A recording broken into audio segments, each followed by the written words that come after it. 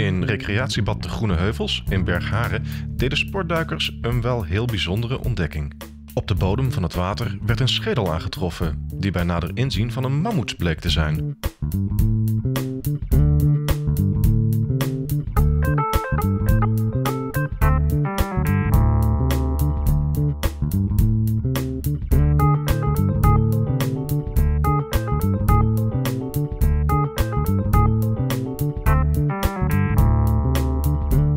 Hiermee was het bewijs geleverd dat ook de Gelderse bodem ooit door mammoeten bewoond is geweest.